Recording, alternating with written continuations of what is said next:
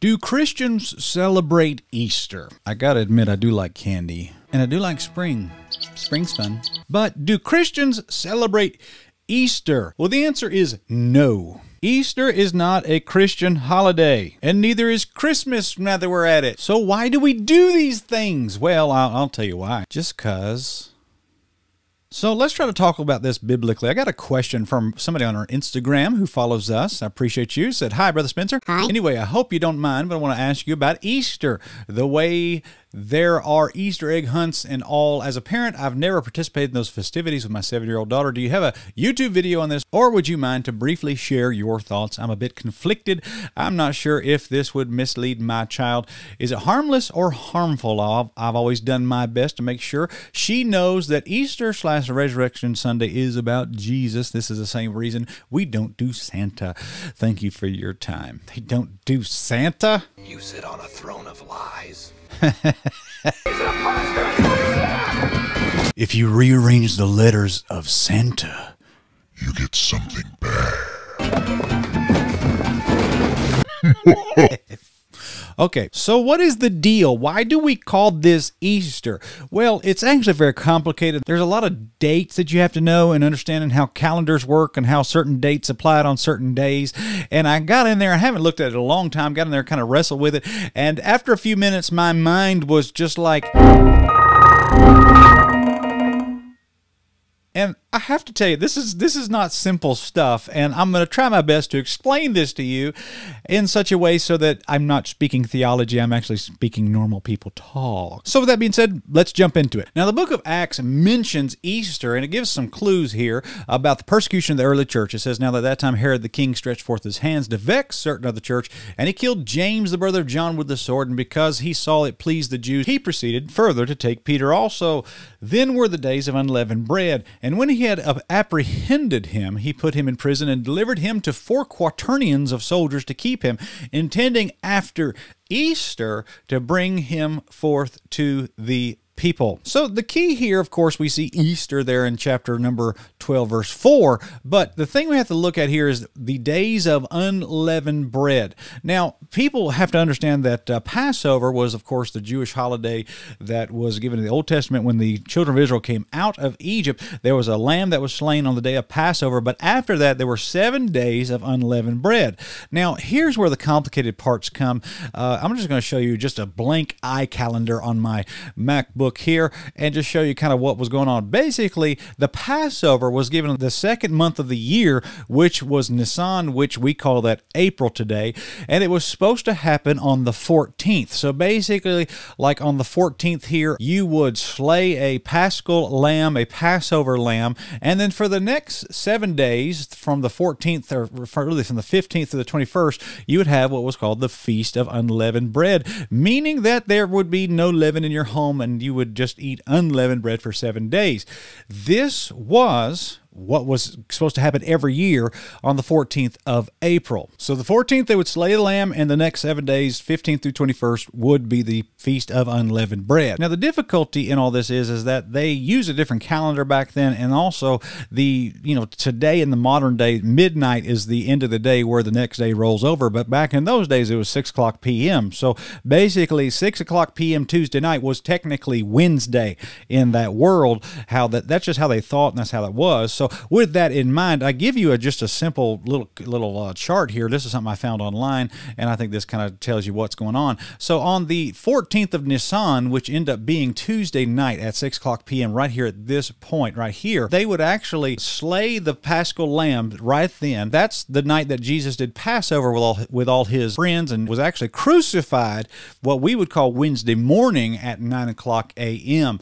And so he's crucified that day. Then he was taken down. And he spent Thursday, Friday, Saturday in the grave, and technically on Saturday night, somewhere between there and Sunday morning, uh, before the sun rose up on Sunday morning, he rose. It was discovered that he rose from the grave. By the way, don't ever buy the lie that Jesus was crucified on Friday. Good Friday doesn't work. He has to be in the grave three days and three nights. And if he's, you know, crucified on Friday, that I'm I'm not a math guy, but I just don't see three days and three nights in there. But whatever. Crucified on Wednesday morning. He spent Thursday, Friday, Saturday in the grave, and on Sunday Sunday morning they discovered that he had risen. So, where does Easter fall into all this? Well, the problem is, is that Easter would happen sometimes around the same time as the Passover, the Feast of Unleavened Bread. Easter was always changing every year. The date of Easter was determined after the spring equinox. They would wait for a full moon in the sky, and then the Sunday after that was Easter. Now, if you've seen Third Adam 3, Rise of the Divine Feminine, and really any of our other stuff, you'll understand that Easter is a term having to do uh, Astarte or Isis or the Queen of Heaven, as we have talked about her before. Isis and Astarte and Easter are the same word for the same female goddess. Basically, what the Easter festival was was a pagan week long festival of debauchery and immorality and sexuality and all kinds of things like that. Basically, the whole thing was a gigantic raunch fest, and sometimes it happened the same week as the Passover. Now, here in the book of Acts, chapter 12, we see here that there was it was talk about Easter to bring him forth to the people. We find here that the actual Passover and the Feast of Unleavened Bread happened the week before Easter that year. So you find here evidence that these two holidays oftentimes are very close to each other. Sometimes they happen at the same time. And so once you understand like the history of Constantine, how that he made the early church the state church and kind of merged the church and Roman paganism together, it's always been something we've been trying to fight against as Christian people. And I think the modern church is doing the same thing through pagan music that we're trying to bring into the church, which is the origins of Christian rock and roll, which is what we're trying to do.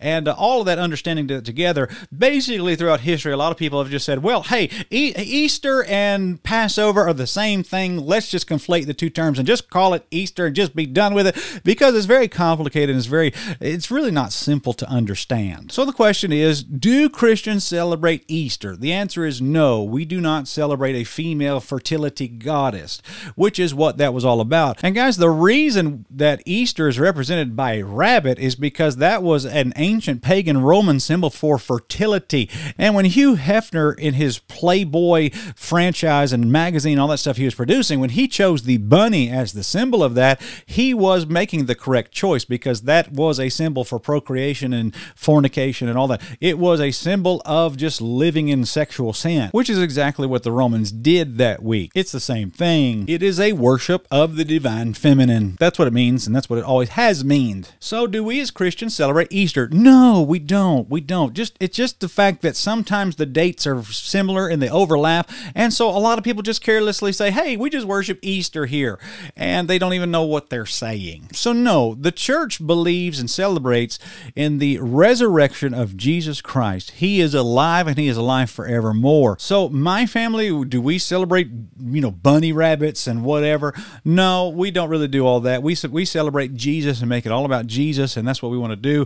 And that that's just a thing that we have chosen to do as a family. Now, I have noticed this that a lot of churches today are just calling it Resurrection Sunday, and I think that's good. I, I think it is Resurrection Sunday. That's what we need to celebrate as Christians because we're not we're not pagans, of course. And so I think Resurrection Sunday is a lot better term to use. I think when we talk about Easter, I think everybody just kind of understands what is meant by saying that. But technically, we do not celebrate Easter. That is a pagan Roman holiday, and we don't celebrate that. But we do celebrate the resurrection of Jesus Christ. He got up from the grave. The Bible says in Mark 16, verse 5, and entering into the sepulchre, they saw a young man sitting on the right side, clothed with a in a long white garment, and they were affrighted. And he said unto them, Be not affrighted. You seek Jesus of Nazareth, which was crucified. He is risen. He is not here. Behold, the place where they laid him. I'm thankful that the Lord Jesus Christ is not a dead God. He is a living God. And by the way, Christianity is the only religion going on in the world right now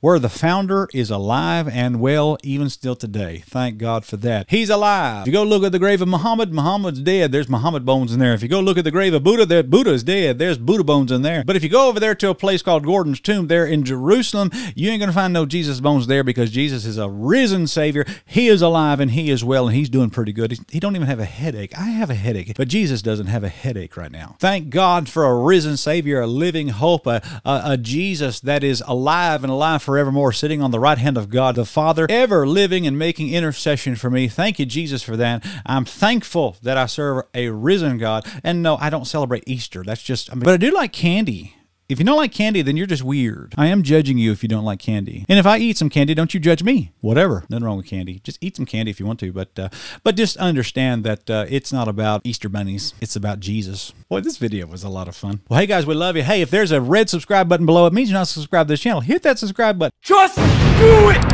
And be a part of what we're going to be doing. We're doing a lot of good content in the very near future coming up. You don't want to miss it. Be a part of that. God bless you all. We love you. And this video was a blessing to you, hit that like button, and we certainly would appreciate that. Thank you very much. You guys have a wonderful day. And uh, I need some candy now. Where's candy? by the way, go watch Third Adam. It's on the screen back there. Go watch that. That's pretty good. You'll enjoy that. God bless you all. We'll see you.